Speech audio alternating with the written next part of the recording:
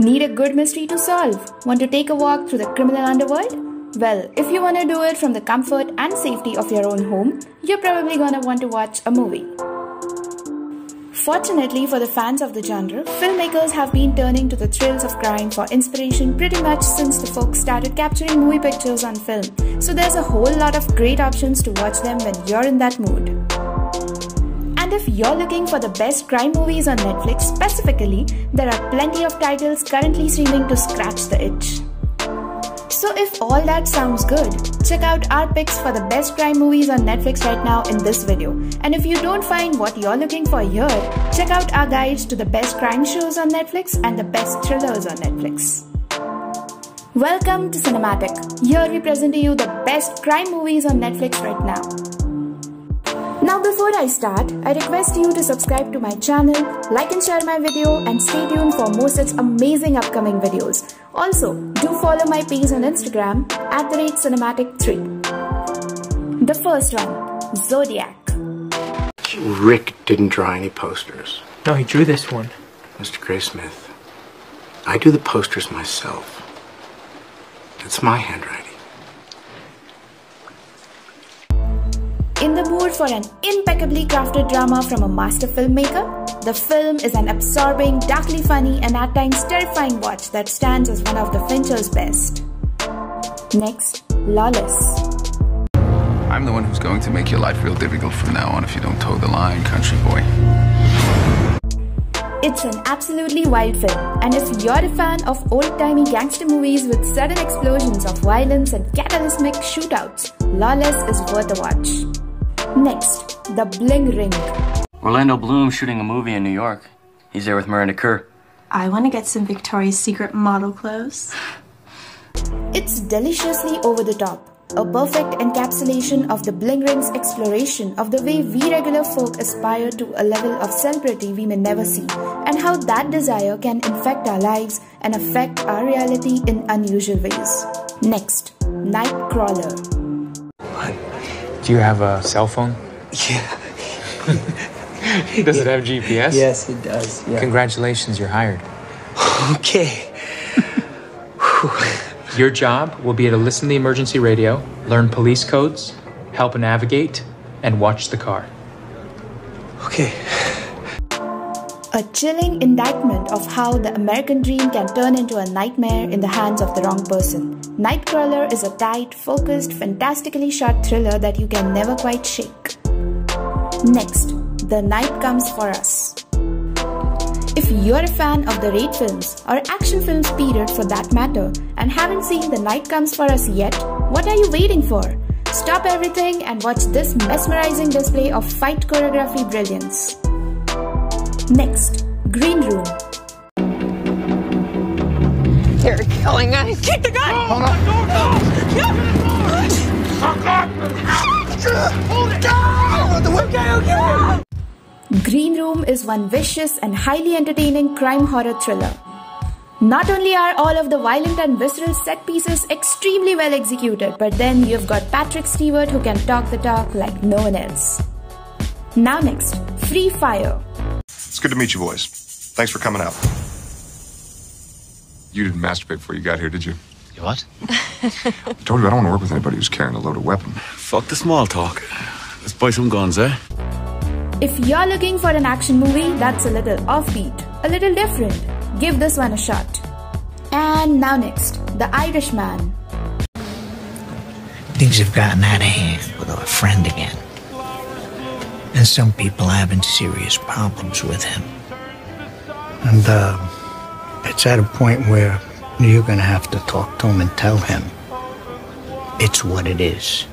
The movie discards the glamour of films like The Goodfellas and Casino and instead focuses on the slow decay of a man who has always seen himself as a good soldier when really all he has to offer is violence and selfishness. Next, Startup. In case you haven't fully appreciated, I am his father.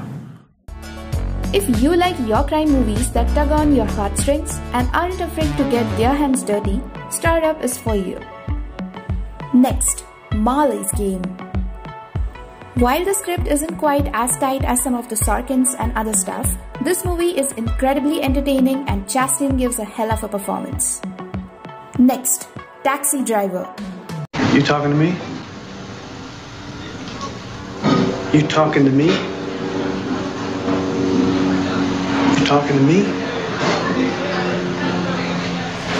Then who the hell else are you talking? You talking to me? Well, I'm the only one here. Who the fuck do you think you're talking to? Oh, yeah? Huh? Okay.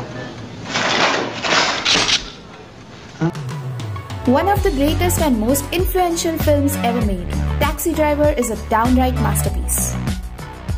Now next, Drive. So you just moved to LA?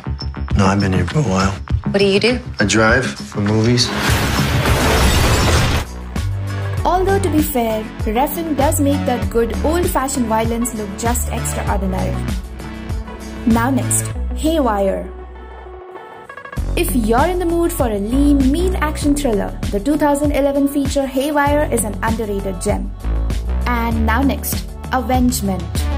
You follow her home, you take the bag off of her, and you bring it back here. If you're a fan of DTV actioners, this one's a gem with some genuinely surprising moments of violence.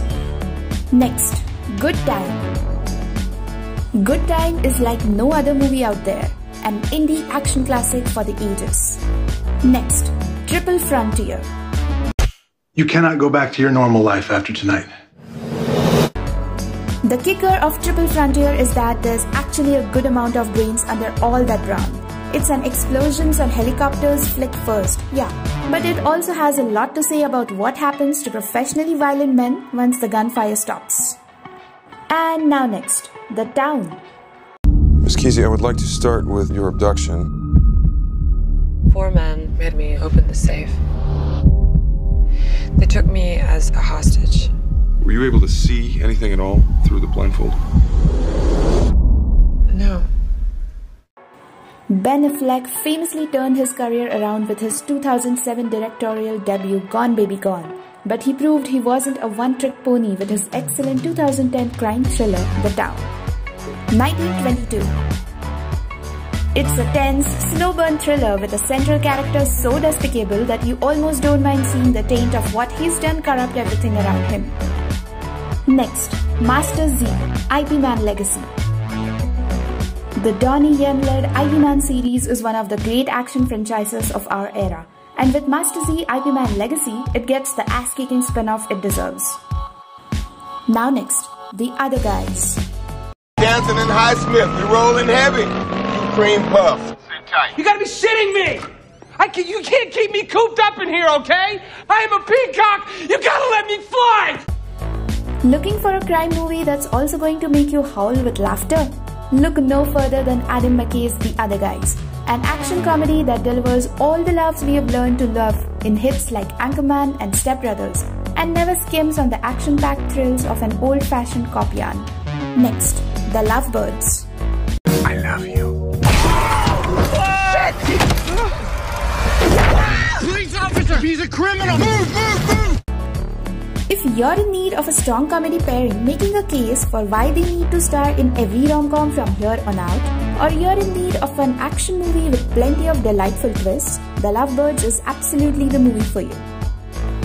Keep coming for more. We are never out of best recommendations and reviews to help you out.